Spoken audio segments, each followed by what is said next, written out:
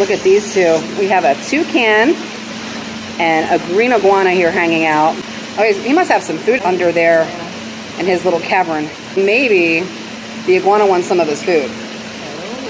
I think that's, oh, he's got his open beak there.